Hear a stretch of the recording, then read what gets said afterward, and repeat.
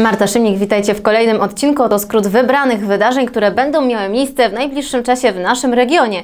Już w piątek na Cieszyńskim Rynku otwarcie sezonu z gastronomią na kółkach, czyli pojawią się food trucki. Wraz z nimi zagości strefa dla dzieci i młodzieży. Będzie wspólna zabawa, konkursy, nagrody i dobra muzyka.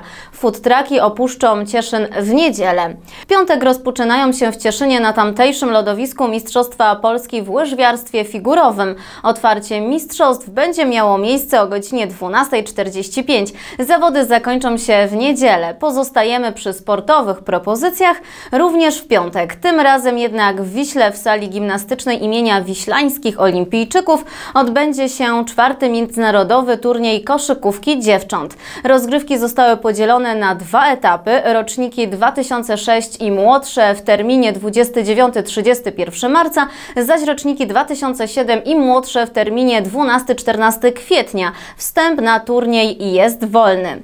29 marca w piątek w Wiślańskim Centrum Kultury będzie miało miejsce rozstrzygnięcie konkursu na wielkanocne wypieki. Baby, murzynki i inne świąteczne potrawy. Wypieki należy dostarczyć w piątek do godziny 12. Degustacja oraz rozstrzygnięcie o godzinie 17. W sobotę 30 marca Urząd Miasta Cieszyna zaprasza na uroczystość odsłonięcia tablic pamiątkowych cieszyńskich olimpijczyków. Początek spotkania godzina 14.30 w hali widowiskowo-sportowej przy ulicy Sportowej 1 w Cieszynie. W sobotę zespół pieśni i tańca ziemi cieszyńskiej zaprasza na dziecięce spotkania z folklorem. Gościnnie wystąpi zespół tańca Relewe. Start godzina 17 w Cieszyńskim Teatrze. Na koniec niecodzienna propozycja Cieszyna. Miasto zaprasza w najbliższą sobotę do wspólnego sprzątania.